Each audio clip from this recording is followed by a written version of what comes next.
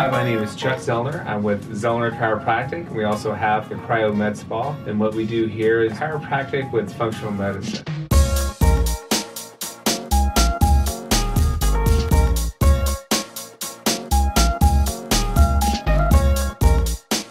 The dance screen that we're doing is the dance screen that Dance USA has compiled. They are doing like a national database for dancers as far as strength, flexibility, aerobic capacity, and they have put a screen together saying, okay, this is what you really need to look at with a dancer, like aerobic capacity. Other things we're looking at are just range of motion for dancers. Dancers obviously have so much more motion than pretty much anybody except maybe gymnasts, and you have to have a certain amount, which is way higher than the normal population to be able to dance.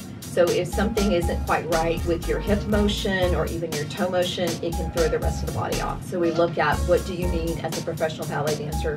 One of these wellness screens is really is not so much to find current injuries or to find problems now, but to find things that could be potential problems. And so the season is a long season with performances going from September to May. You know, that's a long time with 28 dancers in the main company being hard on their bodies. And so the main point of, of these screenings is so that we can be preventative.